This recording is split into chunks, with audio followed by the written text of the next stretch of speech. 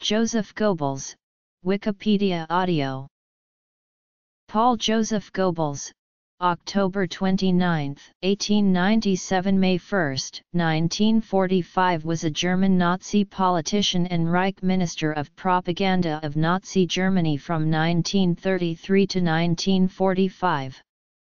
He was one of Adolf Hitler's close associates and most devoted followers, and was known for his skills in public speaking and his deep, virulent anti-Semitism, which was evident in his publicly voiced views. He advocated progressively harsher discrimination, including the extermination of the Jews in the Holocaust. Goebbels, who aspired to be an author, obtained a Doctor of Philosophy degree from the University of Heidelberg in 1921. He joined the Nazi Party in 1924, and worked with Gregor Strasser in their northern branch. He was appointed as Gauleiter for Berlin in 1926, where he began to take an interest in the use of propaganda to promote the party and its program. After the Nazi seizure of power in 1933, Goebbels' propaganda ministry quickly gained and exerted controlling supervision over the news media, arts, and information in Germany he was particularly adept at using the relatively new media of radio and film for propaganda purposes. Topics for party propaganda included anti-Semitism, attacks on the Christian churches, and attempting to shape morale. In 1943, Goebbels began to pressure Hitler to introduce measures that would produce total war, including closing businesses not essential to the war effort, conscripting women into the labor force, and enlisting men in previously exempt occupations into the Wehrmacht. Hitler finally appointed him as Reich Plenipotentiary for Total War on July 23, 1944, whereby Goebbels undertook largely unsuccessful measures to increase the number of people available for armaments production in the Wehrmacht. Early life as the war drew to a close and Nazi Germany faced defeat, Magda Goebbels and the Goebbels children joined Hitler in Berlin. They moved into the underground Vorbunker, part of Hitler's underground bunker complex, on April 22, 1945. Hitler committed suicide on April 30. In accordance with Hitler's will, Goebbels succeeded him as Chancellor of Germany, he served one day in this post.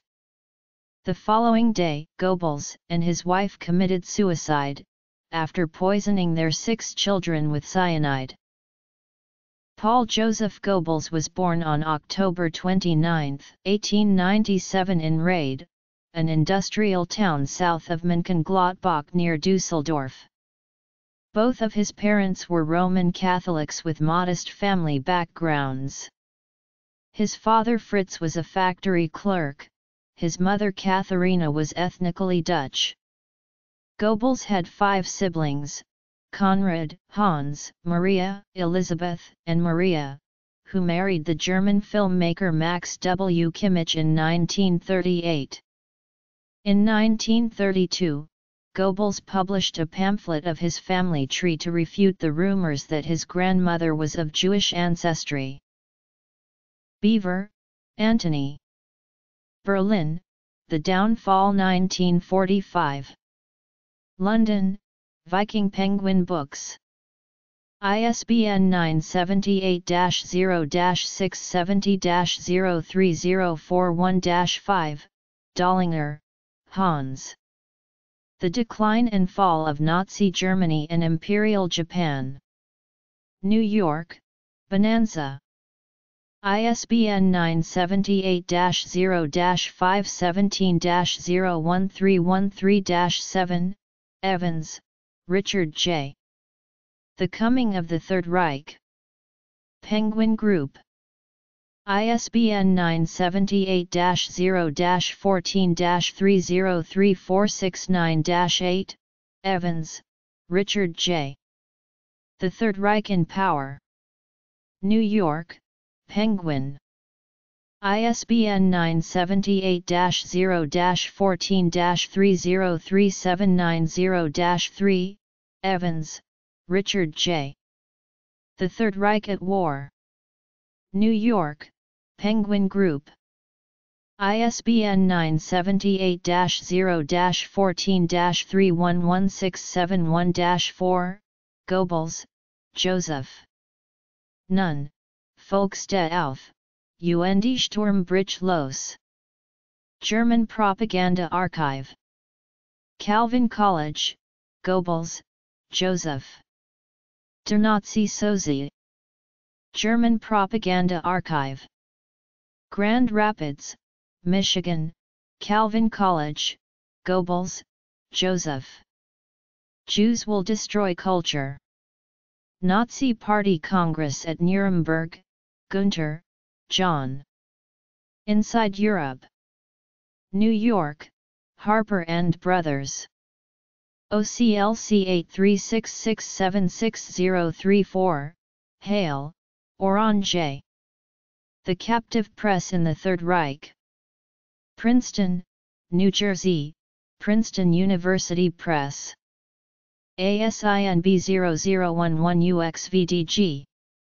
ISBN 0-691-00770-5, Hitler's Last Days. mi5.gov.uk. MI5 Security Service. Retrieved June 6, 2015, Hull, David Stewart.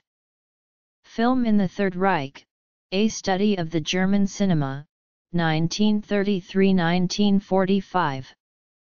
Berkeley, University of California Press, Joachimsthaler, Anton. The Last Days of Hitler, The Legends, The Evidence, The Truth. Trans. Helmut Bögler. London, Brockhampton Press. ISBN 978-1-86019-902-8, Kershaw, Ian. Hitler, A Biography. New York, W. W. Norton and Company. ISBN 978-0-393-06757-6, Longerich, Peter. Holocaust, The Nazi Persecution and Murder of the Jews. Oxford, New York, Oxford University Press. ISBN 978-0-19-280436-5, Longerich, Peter. Heinrich Himmler, A Life. Oxford, New York, Oxford University Press. ISBN 978-0-19-959232-6, Longerich, Peter. Goebbels, A Biography. New York, Random House. ISBN 978-140067510, Manvell, Roger, Fraenkel, Heinrich. Dr. Goebbels, His Life and Death. New York, Skyhorse. ISBN 978-1-61608-029-7, Michael, Robert. Holy Hatred, Christianity, Anti-Semitism, and the Holocaust. Springer. ISBN 0230601987, Rees, Lawrence Kershaw, Ian. The Dark Charisma of Adolf Hitler. UK, BBC. Retrieved September 6, 2014, Reuth, Ralph George. Goebbels. Harvest. ISBN 978-0-15-600139-7, Shirer, William L. The Rise and Fall of the Third Reich. New York, Simon & Schuster. ISBN 978-0-671-62420-0, Siemens, Daniel. The Making of a Nazi Hero, The Murder and Myth of Horst Wessel. I.B. Tauris. ISBN 978-0-85773-313-9, Snell, John L. The Nazi Revolution, Germany's Guilt or Germany's Fate. Boston, Heath and Co. OCLC 504833477, Staff. Hitler takes Austria, Goebbels and Reichsautobahn. Life magazine. 4, 20. Retrieved February 28, 2016, Staff. Joseph Goebbels' love letters up for auction. The Telegraph. Associated Press, Thacker, Toby. Joseph Goebbels, Life and Death. New York, Palgrave Macmillan.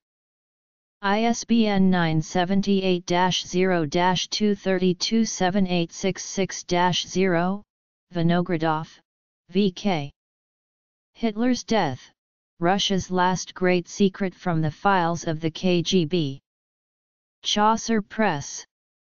ISBN 978-1-904449-13-3. During childhood, Goebbels suffered from ill health, which included a long bout of inflammation of the lungs. He had a deformed right foot that turned inwards, due to a congenital deformity. It was thicker and shorter than his left foot. He underwent a failed operation to correct it just prior to starting grammar school. Goebbels wore a metal brace and special shoe because of his shortened leg, and walked with a limp. He was rejected for military service in World War I due to his deformity.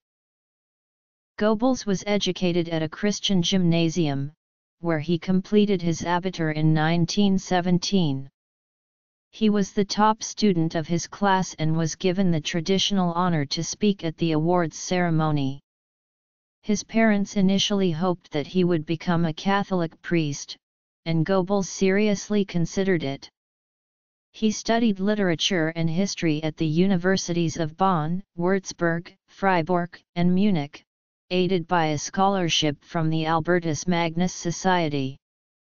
By this time Goebbels had begun to distance himself from the Church. Historians, including Richard J. Evans and Roger Manvell, speculate that Goebbels' lifelong pursuit of women may have been in compensation for his physical disabilities. At Freiburg, he met and fell in love with Anke Stalherm, who was three years his senior. She went on to Würzburg to continue school, as did Goebbels. In 1921 he wrote a semi-autobiographical novel, Michael, a three-part work of which only parts I and III have survived. Goebbels felt he was writing his own story. Antisemitic content and material about a charismatic leader may have been added by Goebbels shortly before the book was published in 1929 by Eher Verlag, the publishing house of the Nazi Party. By 1920, the relationship with Anka was over. The breakup filled Goebbels with thoughts of suicide. At the University of Heidelberg, Goebbels wrote his doctoral thesis on Wilhelm von Schütz, a minor 19th-century romantic dramatist. He had hoped to write his thesis under the supervision of Friedrich Gundolf, who at that time was a well-known literary historian. It did not seem to bother Goebbels that Gundolf was Jewish. Gundolf was no longer teaching, so directed Goebbels to Associate Professor Max Freiherr von Waldberg. Waldberg, also Jewish, recommended Goebbels write his thesis on Wilhelm von Schütz. After submitting the thesis and passing his oral examination, Goebbels earned his PhD in 1921. By 1940 he had written 14 books. Goebbels then returned home and worked as a private tutor. He also found work as a journalist and was published in the local newspaper. His writing during that time reflected his growing anti-Semitism and dislike for modern culture. In the summer of 1922, he met and began a love affair with Else Janke, a schoolteacher. After she revealed to him that she was half Jewish, Goebbels stated the enchantment ruined. Nevertheless, he continued to see her on and off until 1927. Bramstedt, Ernest. Goebbels and National Socialist Propaganda, 1925–1945. Michigan State University Press, Gilbert, Martin. Kristallnacht, Prelude to Destruction. New York, HarperCollins. ISBN 978-0-06-057083-5, Heiber, Helmut. Goebbels. New York, Hawthorne Books. OCLC 383933, Herf, Jeffrey. The Jewish War, Goebbels and the anti-Semitic campaigns of the Nazi propaganda ministry. Holocaust and Genocide Studies. 19, 5180. doi 10.1093/HGS/DCI003, Miller, Michael D., Schultz, Andreas. Albrecht, Herbert, Huttman, H. Wilhelm, eds. Gauleiter. 1. The regional leaders of the Nazi Party and their deputies, 1925–1945. Bender. ISBN 978-1-932970-21-0, Moeller, Felix. The Film Minister, Goebbels and the Cinema in the Third Reich. Axel Menges. ISBN 978-3-932565-10-6, Mollo, Andrew. Ramsey, Winston, ed. The Berlin Führerbunker, the 13th hole. After the battle. London, Battle of Britain International, Rentschler, Eric. The Ministry of Illusion, Nazi Cinema and Its Afterlife. Cambridge, Harvard University Press. ISBN 978-0-674-57640-7. He continued for several years to try to become a published author. His diaries, which he began in 1923 and continued for the rest of his life, provided an outlet for his desire to write. The lack of income from his literary works forced him to take jobs as a caller on the stock exchange and as a bank clerk in Cologne, a job he detested. He was dismissed from the bank in August 1923 and returned to Rheydt. During this period, he read avidly and was influenced by the works of Oswald Spengler, Fyodor Dostoevsky, and Houston Stewart Chamberlain, the British-born German writer whose book The Foundations of the Nineteenth Century was one of the standard works of the extreme right in Germany. He also began to study the social question and read the works of Karl Marx, Friedrich Engels, Rosa Luxemburg, August Bebel, and Gustav Nietzsche. According to German historian Peter Long Longerich, Goebbels' diary entries from late 1923 to early 1924 reflected the writings of a man who was isolated, preoccupied by religious philosophical issues, and lacked a sense of direction. Diary entries of mid-December 1923 forward show Goebbels was moving towards the folkish nationalist movement. Goebbels first took an interest in Adolf Hitler and Nazism in 1924. In February 1924, Hitler's trial for treason began in the wake of his failed attempt to seize power in the beer hall putsch of November 8-9, 1923. The trial attracted widespread press coverage and gave Hitler a platform for propaganda. Hitler was sentenced to five years prison, but was released on December 20, 1924, after serving just over a year. Goebbels was drawn to the NSDAP mostly because of Hitler's charisma and commitment to his beliefs. He joined the NSDAP around this time, becoming member number 8762. In late 1924, Goebbels offered his services to Karl Kaufmann, who was Gauleiter for the Rhine-Ruhr district. Kaufmann put him in touch with Gregor Strasser, a leading Nazi organizer in northern Germany, who hired him to work on their weekly newspaper and to do secretarial work for the regional party offices.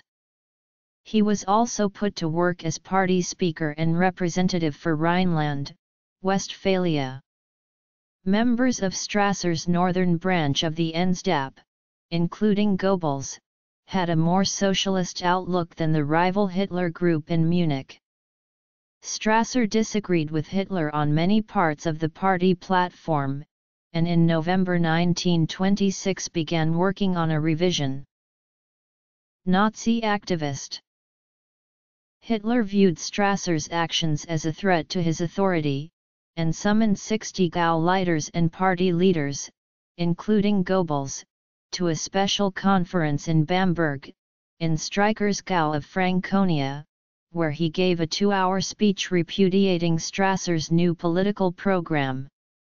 Hitler was opposed to the socialist leanings of the Northern Wing, stating it would mean political Bolshevization of Germany.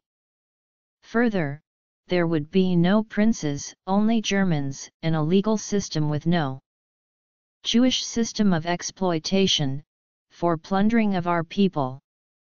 The future would be secured by acquiring land, not through expropriation of the estates of the former nobility, but through colonizing territories to the east. Goebbels was horrified by Hitler's characterization of socialism as a Jewish creation and his assertion that a Nazi government would not expropriate private property. He wrote in his diary, I no longer fully believe in Hitler. That's the terrible thing, my inner support has been taken away. After reading Hitler's book Mein Kampf, Goebbels found himself agreeing with Hitler's assertion of a Jewish doctrine of Marxism. In February 1926 Goebbels gave a speech titled Lenin or Hitler, in which he asserted that communism or Marxism could not save the German people, but he believed it would cause a socialist nationalist state to arise in Russia. In 1926, Goebbels published a pamphlet titled Nazi Sozi which attempted to explain how National Socialism differed from Marxism. In hopes of winning over the opposition, Hitler arranged meetings in Munich with the three Greater Ruhr leaders, including Goebbels. Goebbels was impressed when Hitler sent his own car to meet them at the railway station. That evening Hitler and Goebbels both gave speeches at a beer hall rally. The following day, Hitler offered his hand in reconciliation to the three men, encouraging them to put their differences behind them. Goebbels capitulated completely, offering Hitler his total loyalty. He wrote in his diary, I love him. He has thought through everything, such a sparkling mind can be my leader. I bow to the greater one, the political genius. He later wrote, Adolf Hitler, I love you because you are both great and simple at the same time. What one calls a genius. As a result of the Bamberg and Munich meetings, Strasser's new draft of the party program was discarded. The original National Socialist program of 1920 was retained unchanged, and Hitler's position as party leader was greatly strengthened. At Hitler's invitation, Goebbels spoke at party meetings in Munich and at the annual party congress, held in Weimar in 1926. For the following year's event, Goebbels was involved in the planning for the first time. He and Hitler arranged for the rally to be filmed. Receiving praise for doing well at these events led Goebbels to shape his political ideas to match Hitler's, and to admire and idolize him even more. Goebbels was first offered the position of party Gauleiter for the Berlin section in August 1926. He traveled to Berlin in mid-September and by the middle of October accepted the position. Thus Hitler's plan to divide and dissolve the northwestern Gauleiters group that Goebbels had served in under Strasser was successful. Hitler gave Goebbels great authority over the area, allowing him to determine the course for organization and leadership for the Gau. Goebbels was given control over the local Sturmabteilung and Schutzstaffel and answered only to Hitler. The party membership numbered about 1,000 when Goebbels arrived, and he reduced it to a core of 600 of the most active and promising members. To raise money, he instituted membership fees and began charging admission to party meetings. Aware of the value of publicity, he deliberately provoked beer hall battles and street brawls, including violent attacks on the Communist Party of Germany. Goebbels adapted recent developments in commercial advertising to the political sphere, including the use of catchy slogans and subliminal cues. His new ideas for poster design included using large type, red ink, and cryptic headers that encouraged the reader to examine the fine print to determine the meaning. Like Hitler, Goebbels practiced his public speaking skills in front of a mirror. Meetings were preceded by ceremonial marches and singing, and the venues were decorated with party banners. His entrance was timed for maximum emotional impact. Goebbels usually meticulously planned his speeches ahead of time, using pre-planned and choreographed inflection and gestures, but he was also able to improvise and adapt his presentation to make a good connection with his audience. He used loudspeakers, fire decorations, uniforms, and marches to attract attention to speeches. Goebbels' tactic of using provocation to bring attention to the NSDAP, along with violence at the public party meetings and demonstrations, led the Berlin police to ban the NSDAP from the city on May 5, 1927. Violent incidents continued, including young Nazis randomly attacking Jews in the streets. Goebbels was subjected to a public speaking ban until the end of October. During this period, he founded the newspaper Der Angriff as a propaganda vehicle for the Berlin area, where few supported the party. It was a modern-style newspaper with an aggressive tone. 126 libel suits were pending against Goebbels at one point. To his disappointment, circulation was initially only 2,000. Material in the paper was highly anti-communist and anti-Semitic. Among the paper's favorite targets was the Jewish deputy chief of the Berlin police Bernhard Weiss. Goebbels gave him the derogatory nickname Isidore and subjected him to a relentless campaign of Jew baiting in the hope of provoking a crackdown he could then exploit. Goebbels continued to try to break into the literary world, with a revised version of his book Michael finally being published, and the unsuccessful production of two of his plays. The latter was his final attempt at playwriting.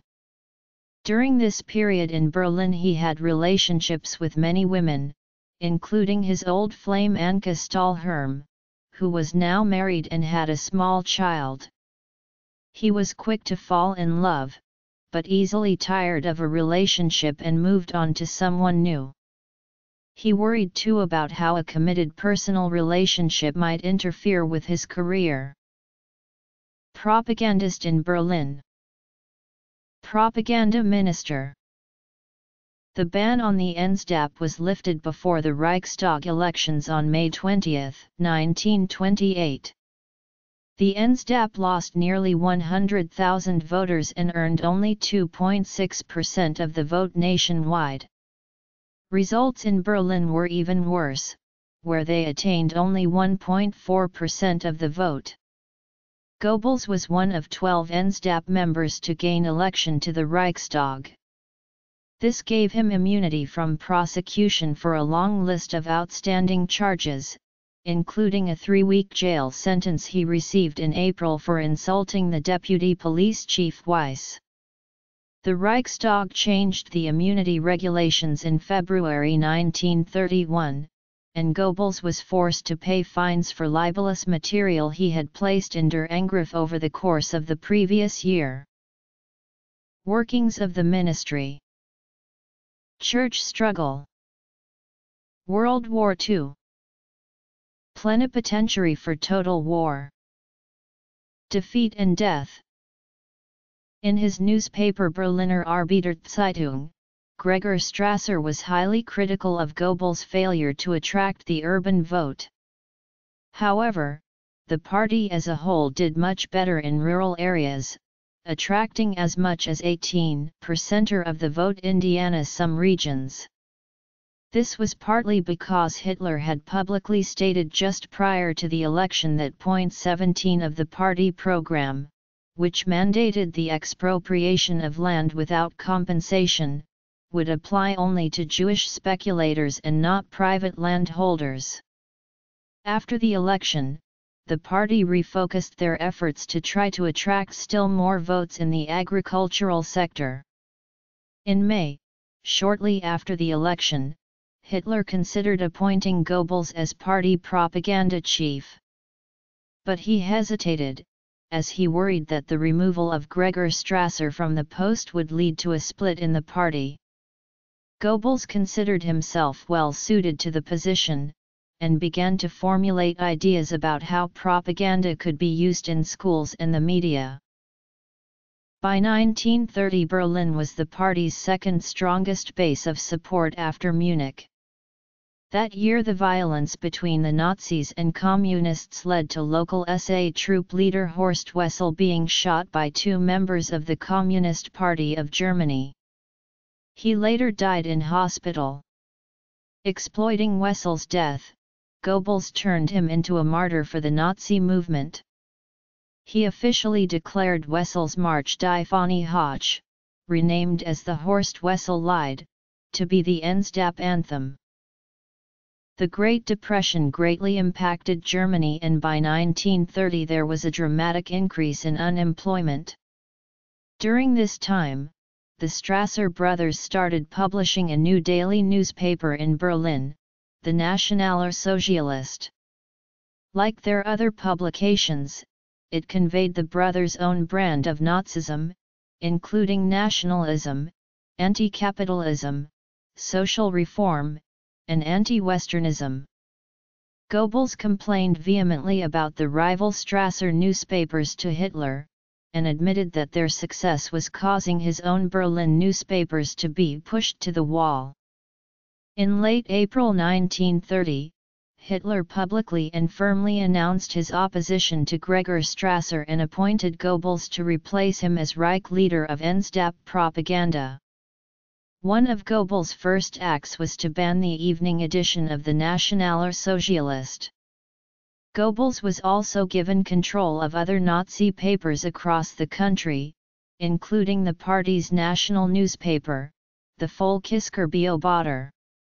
He still had to wait until July 3 for Otto Strasser and his supporters to announce they were leaving the NSDAP. Upon receiving the news, Goebbels was relieved the crisis with the Strassers was finally over and glad that Otto Strasser had lost all power. Anti-Semitism and the Holocaust the rapid deterioration of the economy led to the resignation on March 27, 1930 of the coalition government that had been elected in 1928. A new cabinet was formed, and Paul von Hindenburg used his power as president to govern via emergency decrees. He appointed Heinrich Brüning as Chancellor. Goebbels took charge of the NSDAP's national campaign for Reichstag elections called for September 14, 1930. Campaigning was undertaken on a huge scale, with thousands of meetings and speeches held all over the country.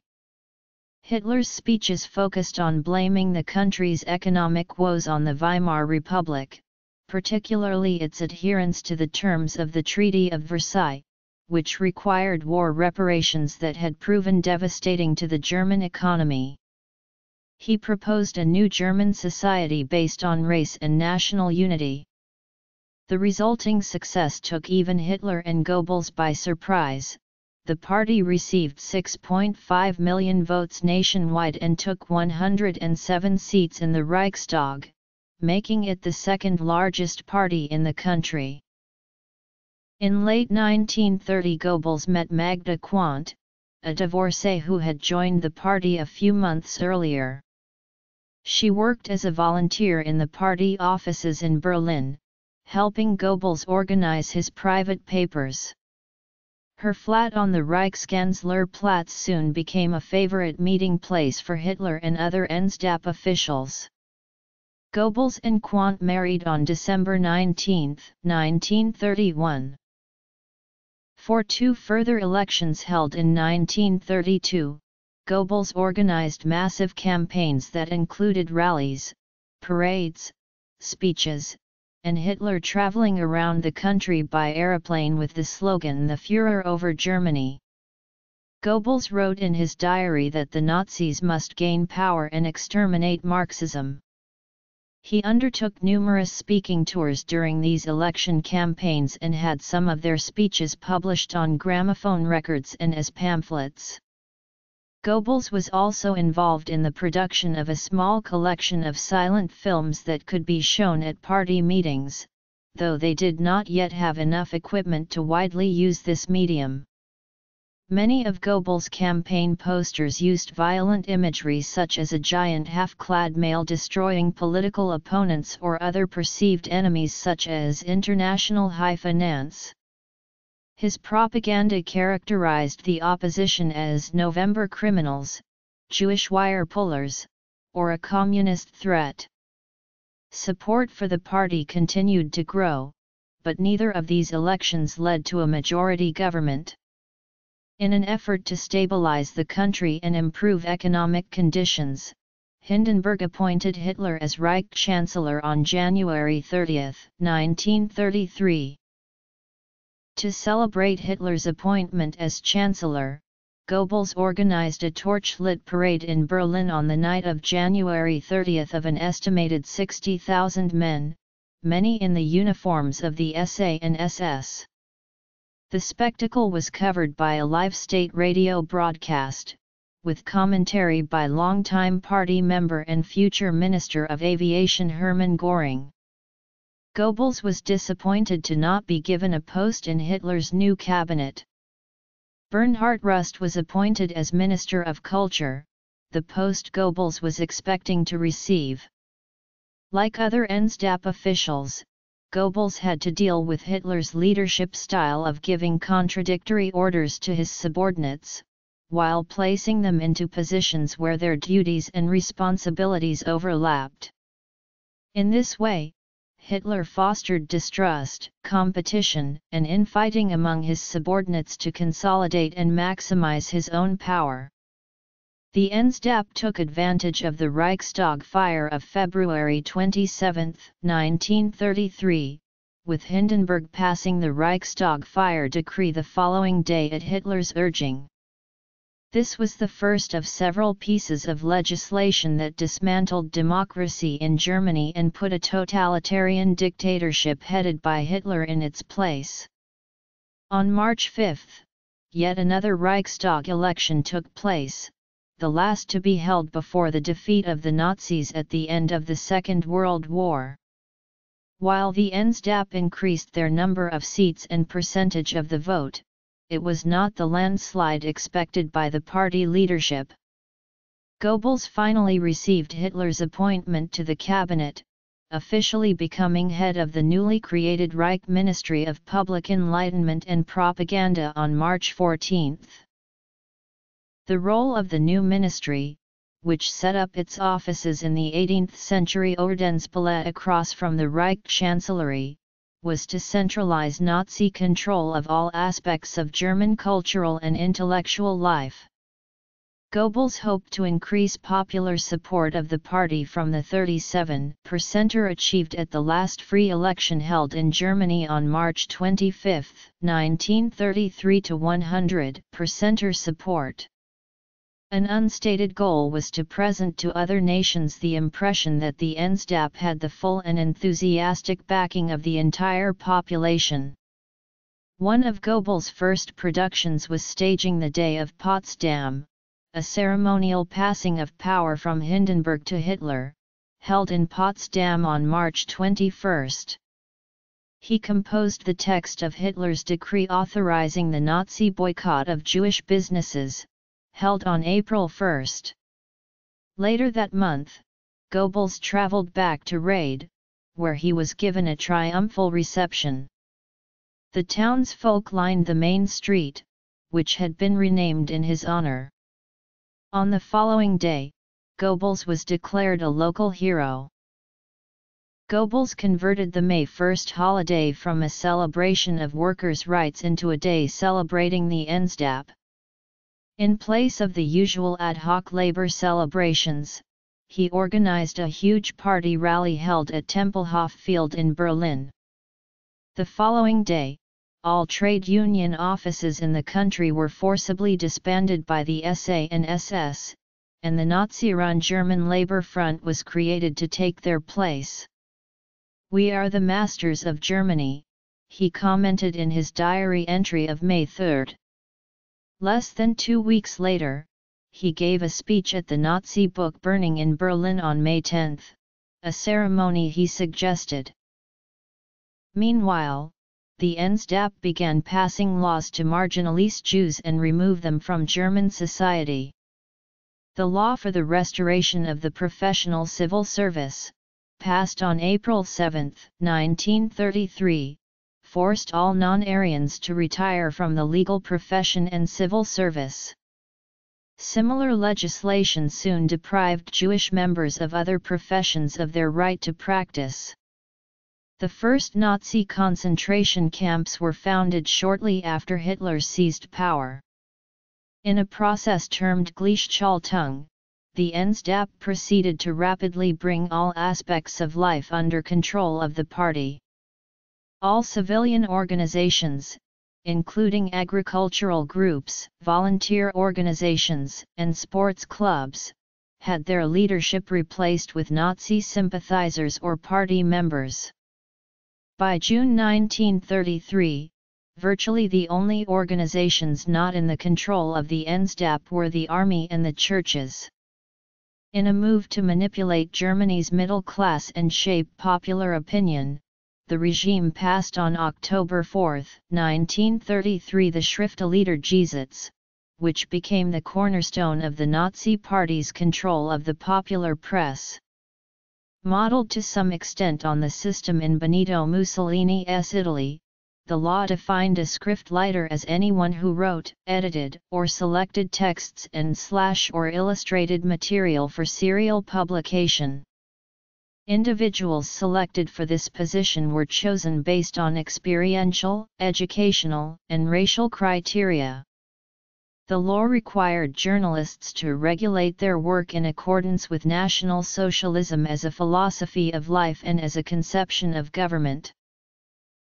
Family life At the end of June 1934, top officials of the SA and opponents of the regime, including Gregor Strasser, were arrested and killed in a purge later called the Night of Long Knives. Goebbels was present at the arrest of SA leader Ernst Röhm in Munich. On August 2, 1934, President von Hindenburg died. In a radio broadcast, Goebbels announced that the offices of President and Chancellor had been combined, and Hitler had been formally named as Führer und Reichskanzler. The propaganda ministry was organized into seven departments, administration and legal, mass rallies, public health, youth and race, radio, national and foreign press, films and film censorship, art, music and theater, and protection against counter-propaganda, both foreign and domestic. Goebbels' style of leadership was tempestuous and unpredictable. He would suddenly change direction and shift his support between senior associates, he was a difficult boss and liked to berate his staff in public. Goebbels was successful at his job, however, Life wrote in 1938 that personally he likes nobody, is liked by nobody, and runs the most efficient Nazi department. John Gunther wrote in 1940 that Goebbels is the cleverest of all the Nazis, but could not succeed Hitler because everybody hates him. The Reich Film Chamber, which all members of the film industry were required to join, was created in June 1933. Goebbels promoted the development of films with a Nazi slant, and ones that contained subliminal or overt propaganda messages. Under the auspices of the Reichskulturkammer, created in September, Goebbels added additional sub-chambers for the fields of broadcasting, fine arts, literature, music, the press, and the theater. As in the film industry, anyone wishing to pursue a career in these fields had to be a member of the corresponding chamber. In this way anyone whose views were contrary to the regime could be excluded from working in their chosen field and thus silenced. In addition, journalists were required to prove Aryan descent back to the year 1800, and if married, the same requirement applied to the spouse. Members of any chamber were not allowed to leave the country for their work without prior permission of their chamber. A committee was established to censor books, and works could not be republished unless they were on the list of approved works. Similar regulations applied to other fine arts and entertainment, even cabaret performances were censored. Many German artists and intellectuals left Germany in the pre-war years rather than work under these restrictions. Goebbels was particularly interested in controlling radio, which was then still a fairly new mass medium. Sometimes under protest from individual states, Goebbels gained control of radio stations nationwide, and placed them under the Reichsrundfunkgesellschaft in July 1934. Manufacturers were urged by Goebbels to produce inexpensive home receivers, called Volksempfänger, and by 1938 nearly 10 million sets had been sold. Loudspeakers were placed in public areas, factories, and schools, so that important party broadcasts would be heard live by nearly all Germans.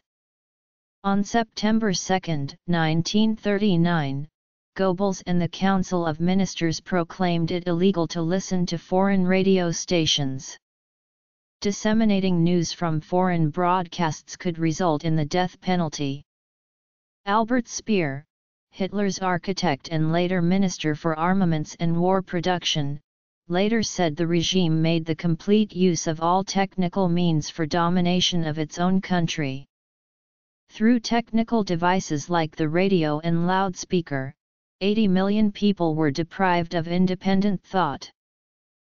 A major focus of Nazi propaganda was Hitler himself, who was glorified as a heroic and infallible leader and became the focus of a cult of personality. Much of this was spontaneous, but some was stage managed as part of Goebbels' propaganda work. Adulation of Hitler was the focus of the 1934 Nuremberg rally, where his moves were carefully choreographed.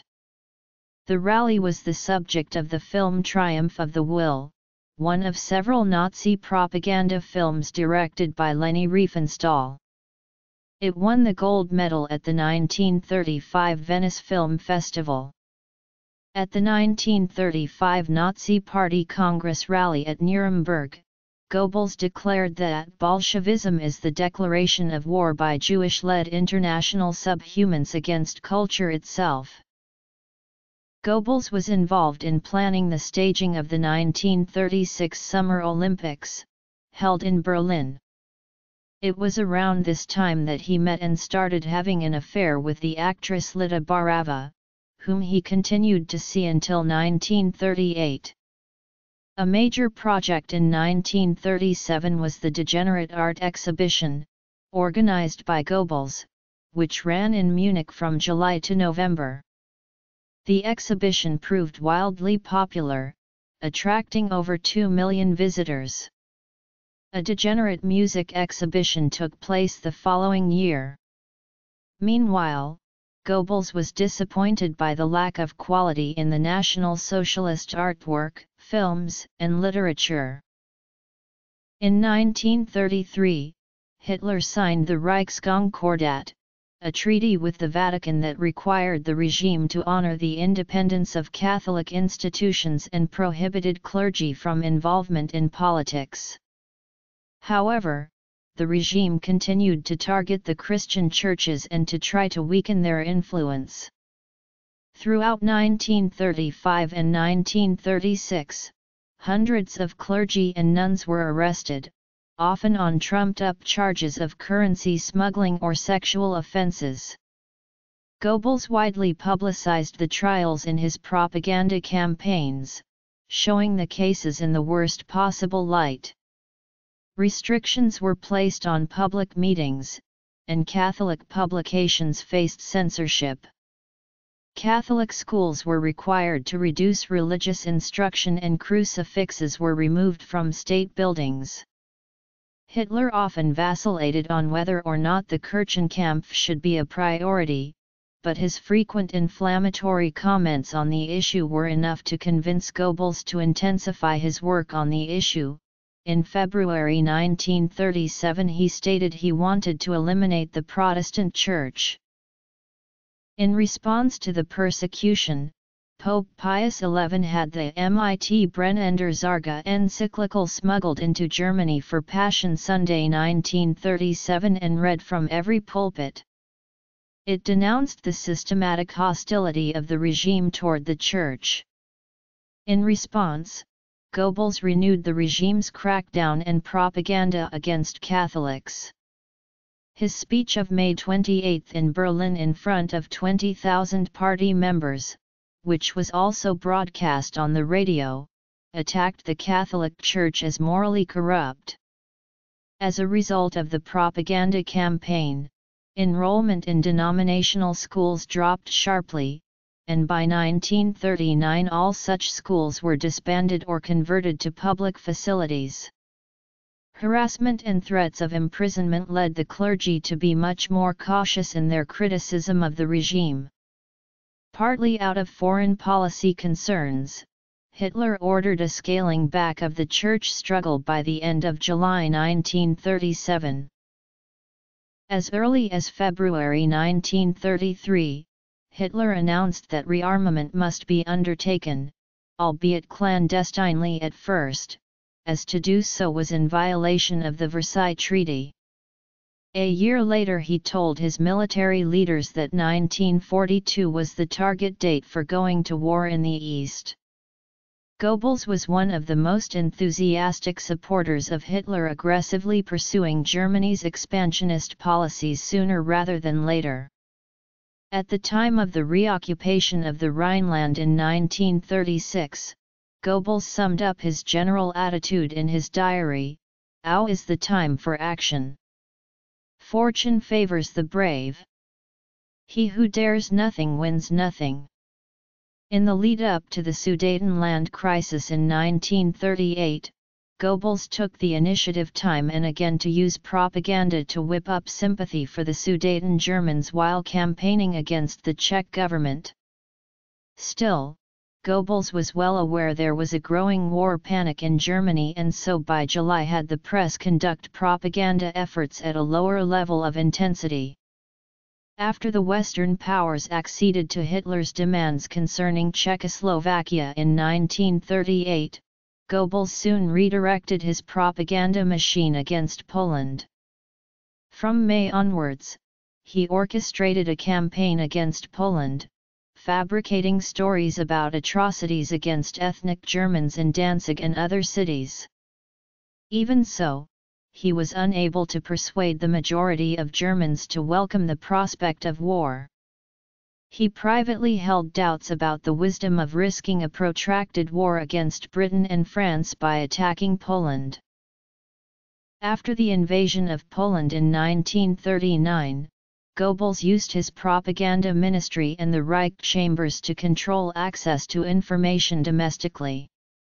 To his chagrin, his rival Joachim von Ribbentrop, the Minister for Foreign Affairs, continually challenged Goebbels' jurisdiction over the dissemination of international propaganda.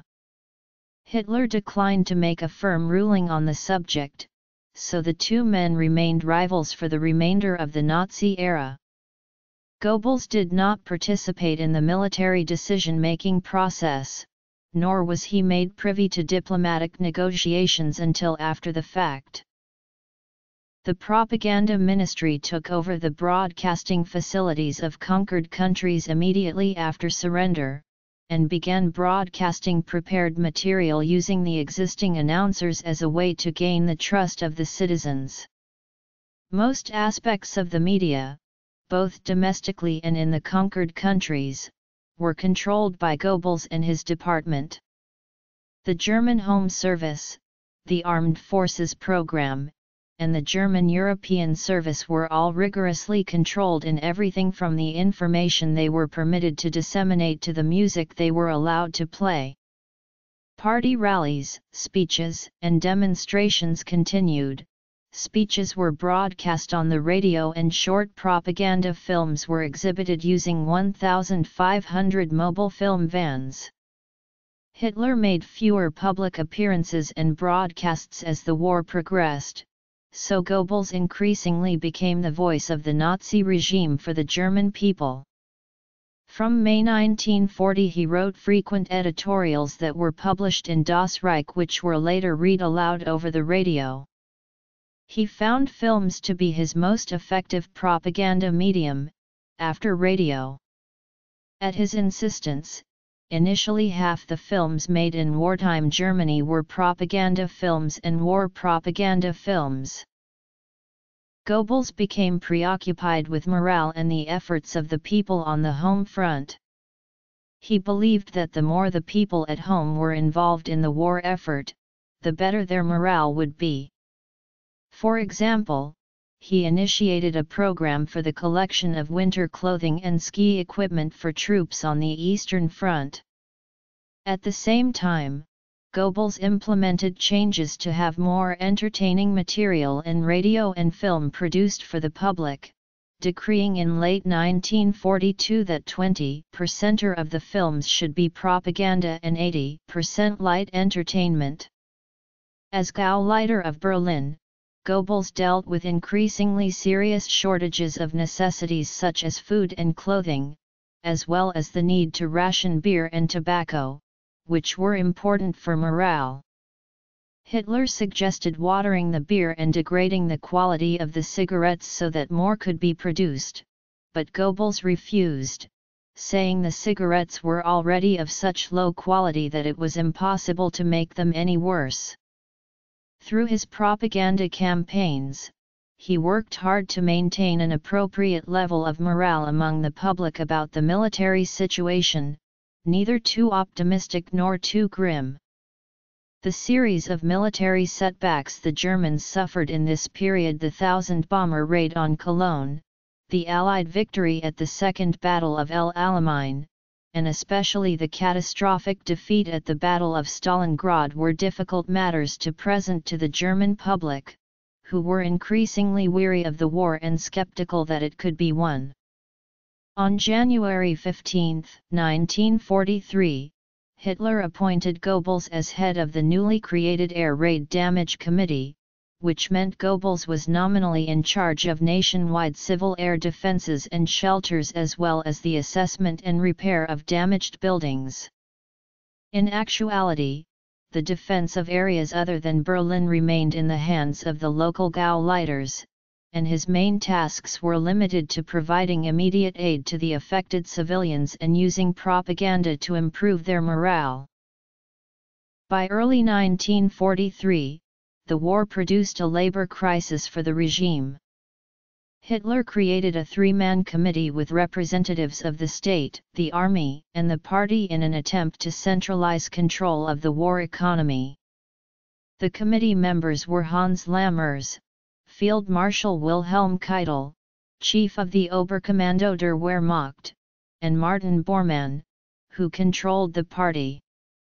The committee was intended to independently propose measures regardless of the wishes of various ministries, with Hitler reserving most final decisions to himself. The committee, soon known as the Dreierausschuss, met 11 times between January and August 1943.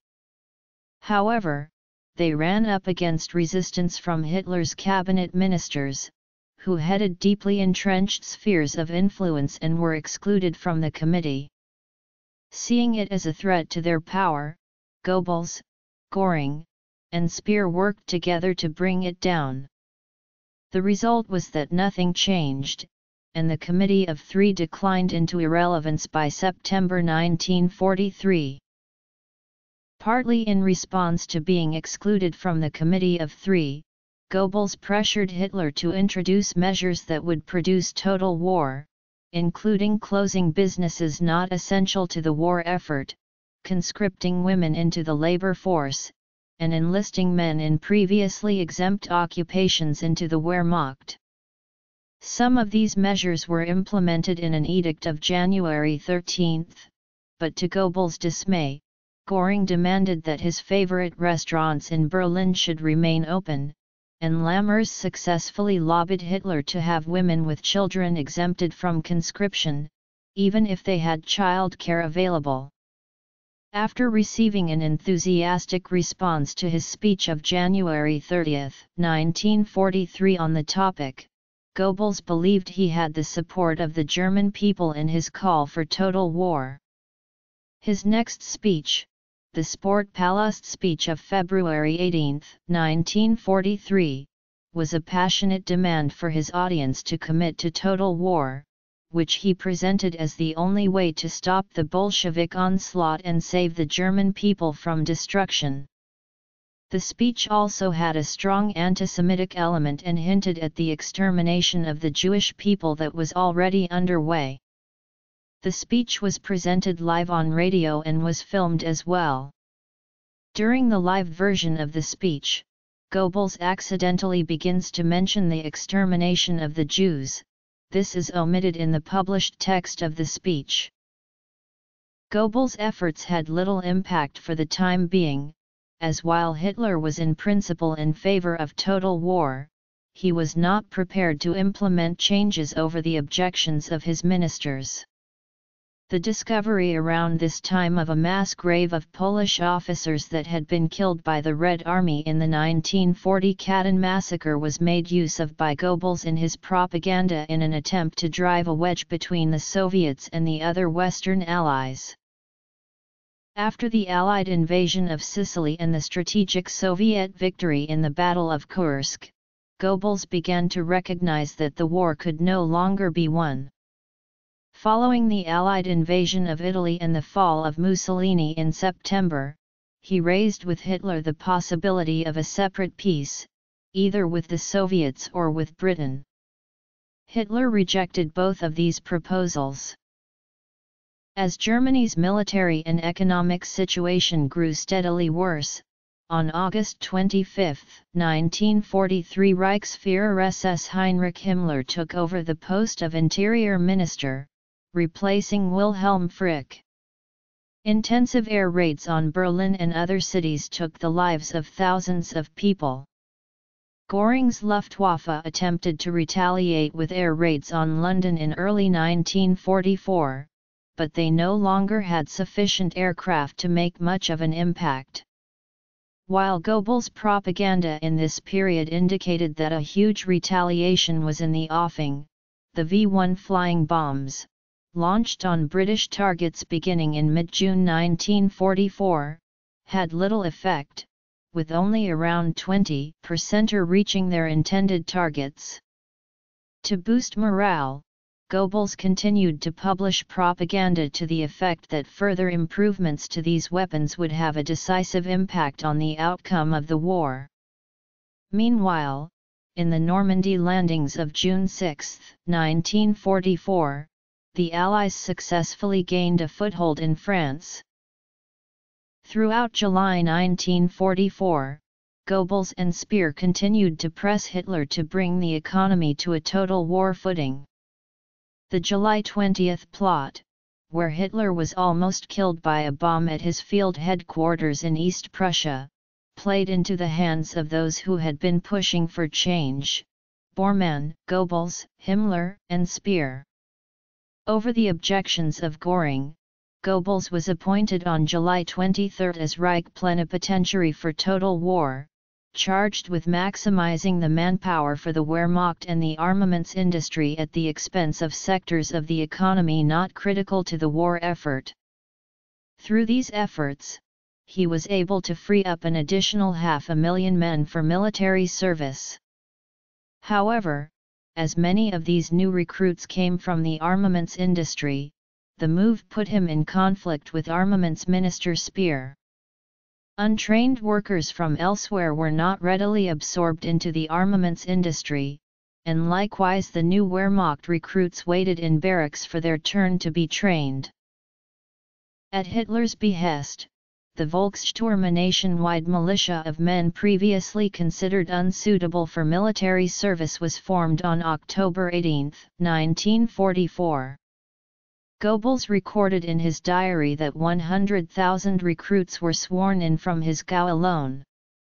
However, the men, mostly age 45 to 60, received only rudimentary training and many were not properly armed. Goebbels' notion that these men could effectively serve on the front lines against Soviet tanks and artillery was unrealistic at best. The program was deeply unpopular. In the last months of the war, Goebbels' speeches and articles took on an increasingly apocalyptic tone. By the beginning of 1945, with the Soviets on the Oder River and the Western Allies preparing to cross the Rhine, he could no longer disguise the fact that defeat was inevitable. Berlin had little in the way of fortifications or artillery, as almost everything had been sent to the front. Goebbels noted in his diary on January 21 that millions of Germans were fleeing westward. He tentatively discussed with Hitler the issue of making peace overtures to the Western Allies, but Hitler again refused. Privately, Goebbels was conflicted at pushing the case with Hitler since he did not want to lose the confidence of his Führer. When other Nazi leaders urged Hitler to leave Berlin and establish a new center of resistance in the National Redoubt in Bavaria, Goebbels opposed this, arguing for a heroic last stand in Berlin. His family moved into their house in Berlin to await the end. He and Magda may have discussed suicide and the fate of their young children in a long meeting on the night of January 27. He knew how the outside world would view the criminal acts committed by the regime, and had no desire to subject himself to the debacle of a trial. He burned his private papers on the night of April 18. Goebbels knew how to play on Hitler's fantasies, encouraging him to see the hand of Providence in the death of United States President Franklin D. Roosevelt on April 12. Whether Hitler really saw this event as a turning point as Goebbels proclaimed is not known. By this time, Goebbels had gained the position he had wanted so long at the side of Hitler. Göring was utterly discredited, although he was not stripped of his offices until April 23. Himmler, whose appointment as commander of Army Group Vistula had led to disaster on the Oder, was also in disgrace with Hitler. Most of Hitler's inner circle, including Göring, Himmler, Ribbentrop, and Speer, prepared to leave Berlin immediately after Hitler's birthday celebration on April 20. Even Bormann was not anxious to meet his end at Hitler's side. On April 22, Hitler announced that he would stay in Berlin until the end and then shoot himself. Goebbels moved with his family into the Vorbunker, connected to the lower Führerbunker under the Reich Chancellery Garden in central Berlin, that same day. He told Vice Admiral Hans-Erich Voss that he would not entertain the idea of either surrender or escape. On April 23, Goebbels made the following proclamation to the people of Berlin. I call on you to fight for your city. Fight with everything you have got, for the sake of your wives and your children, your mothers and your parents. Your arms are defending everything we have ever held dear, and all the generations that will come after us. Be proud and courageous. Be inventive and cunning. Your Gauleiter is amongst you. He and his colleagues will remain in your midst. His wife and children are here as well. He, who once captured the city with 200 men, will now use every means to galvanize the defense of the capital. The battle for Berlin must become the signal for the whole nation to rise up in battle. After midnight on April 29, with the Soviets advancing ever closer to the bunker complex, Hitler married Eva Braun in a small civil ceremony within the Führer bunker. Afterwards, Hitler hosted a modest wedding breakfast with his new wife. Hitler then took Secretary Traudl Junge to another room and dictated his last will and testament. Goebbels and Bormann were two of the witnesses. In his last will and testament, Hitler named no successor as Führer or leader of the Nazi Party. Instead, he appointed Goebbels as Reich Chancellor, Grand Admiral Karl Dönitz, who was at Flensburg near the Danish border, as Reich President, and Bormann as Party Minister. Goebbels wrote a postscript to the will stating that he would disobey Hitler's order to leave Berlin, for reasons of humanity and personal loyalty, he had to stay. Further, his wife and children would be staying, as well. They would end their lives side by side with the Führer. In the mid-afternoon of April 30, Hitler shot himself. After Hitler's suicide, Goebbels was depressed. Voss later recounted Goebbels as saying, It is a great pity that such a man is not with us any longer. But there is nothing to be done. For us, everything is lost now and the only way out left for us is the one which Hitler chose. I shall follow his example. On May 1, Goebbels completed his sole official act as Chancellor. He dictated a letter to General Vasily Chuikov and ordered German General Hans Krebs to deliver it under a white flag. Chuikov, as commander of the Soviet 8th Guards Army, commanded the Soviet forces in central Berlin. Goebbels' letter informed Chuikov of Hitler's death and requested a ceasefire. After this was rejected, Goebbels decided that further efforts were futile. Later on May 1, Vice Admiral Voss saw Goebbels for the last time. While saying goodbye I asked Goebbels to join us. But he replied, the captain must not leave his sinking ship. I have thought about it all and decided to stay here. I have nowhere to go because with little children I will not be able to make it, especially with a leg like mine. On the evening of May 1, 1945, Goebbels arranged for an SS dentist, Helmut Kunz, to inject his six children with morphine so that when they were unconscious, an ampoule of cyanide could be then crushed in each of their mouths. According to Kunz's later testimony, he gave the children morphine injections but it was Magda Goebbels and SS Obersturmbannführer Ludwig Stumpfegger, Hitler's personal doctor, who administered the cyanide. At around 2030, Goebbels and Magda left the bunker and walked up to the garden of the Chancellery, where they committed suicide. There are several different accounts of this event. According to one account, Goebbels shot Magda and then himself. Another account was that they each bit on a cyanide ampoule and were given a coup de grace immediately afterwards. Goebbels' SS adjutant Gunther Schwägermann testified in 1948 that they walked ahead of him up the stairs and out into the Chancellery garden.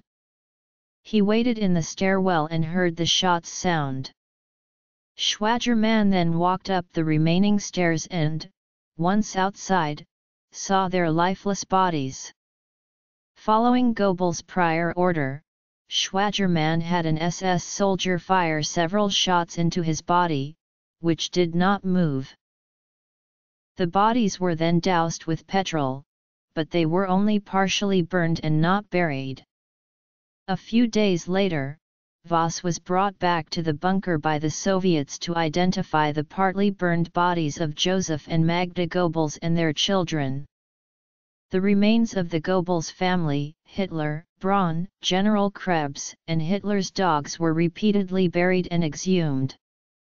The last burial was at the Smersh facility in Magdeburg on February 21, 1946. In 1970, KGB Director Yuri Andropov authorized an operation to destroy the remains. On April 4, 1970, a Soviet KGB team used detailed burial charts to exhume five wooden boxes at the Magdeburg Smersh facility. Those were burned, crushed, and scattered into the Biederitz River, a tributary of the nearby Elbe.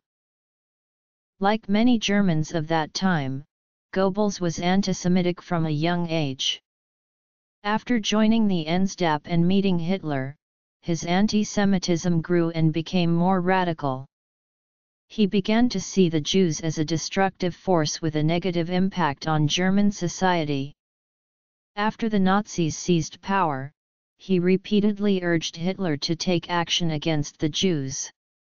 Despite his extreme anti-Semitism, Goebbels spoke of the rubbish of race materialism and of the unnecessity of biological racism for the Nazi ideology. He also described Himmler's ideology as in many regards, mad and thought Alfred Rosenberg's theories were ridiculous. The Nazi Party's goal was to remove Jews from German cultural and economic life, and eventually to remove them from the country altogether. In addition to his propaganda efforts, Goebbels actively promoted the persecution of the Jews through pogroms, legislation, and other actions. Discriminatory measures he instituted in Berlin in the early years of the regime included bans against their using public transport and requiring that Jewish shops be marked as such. In November 1938, the German diplomat Ernst vom Rath was killed in Paris by a young Jewish man. In response, Goebbels arranged for inflammatory anti-Semitic material to be released by the press, and the result was the start of a pogrom. Jews were attacked and synagogues destroyed all over Germany. The situation was further inflamed by a speech Goebbels gave at a party meeting on the night of November 8 where he obliquely called for party members to incite further violence against Jews while making it appear to be a spontaneous series of acts by the German people. At least a hundred Jews were killed, several hundred synagogues were damaged or destroyed, and thousands of Jewish shops were vandalized in an event called Kristallnacht. Around 30,000 Jewish men were sent to concentration camps.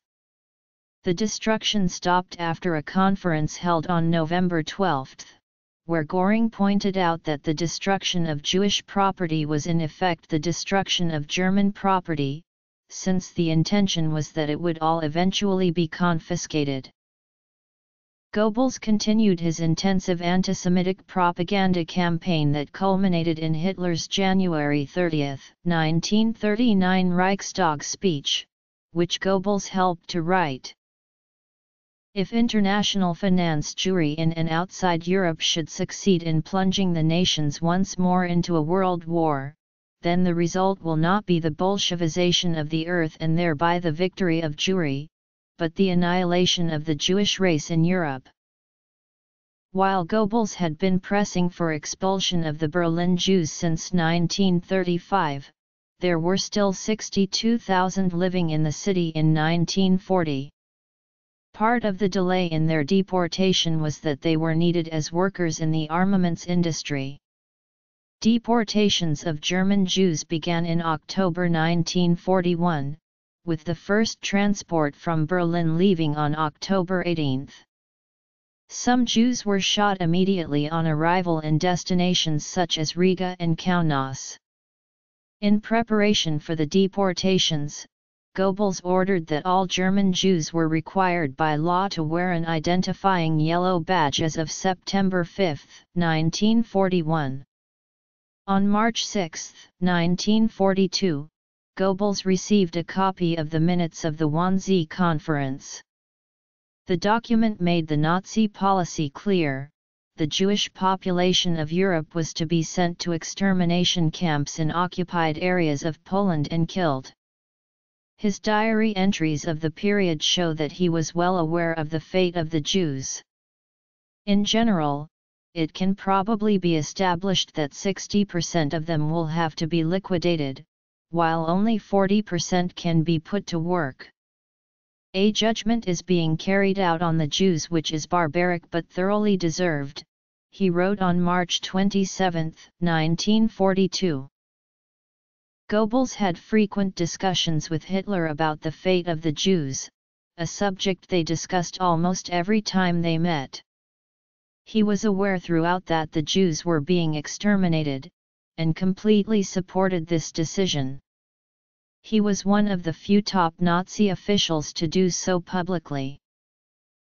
Hitler was very fond of Magda Goebbels and the children. He enjoyed staying at the Goebbels Berlin apartment, where he could relax. Magda had a close relationship with Hitler, and became a member of his small coterie of female friends. She also became an unofficial representative of the regime, receiving letters from all over Germany from women with questions about domestic matters or child custody issues. In 1936, Goebbels met the Czech actress Lída Baarová and by the winter of 1937 began an intense affair with her. Magda had a long conversation with Hitler about it on August 15, 1938. Unwilling to put up with a scandal involving one of his top ministers, Hitler demanded that Goebbels break off the relationship. Thereafter, Joseph and Magda seemed to reach a truce until the end of September. The couple had another falling out at that point, and once again Hitler became involved, insisting the couple stay together. Hitler arranged for publicity photos to be taken of himself with the reconciled couple in October. Magda too had affairs, including a relationship with Kurt Lüdecke in 1933 and Karl Hanke in 1938. The Goebbels family included Harald Quandt, plus Helga, Hilde, Helmuth, Holde, Hedda, and Heide. Harald was the only member of the family to survive the war. Informational notes Citations Bibliography Further reading